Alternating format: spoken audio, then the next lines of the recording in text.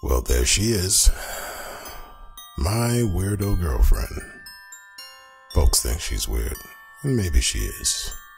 She just dances to the beat of her own drum. We go through a lot of crazy things together, but I love her so much.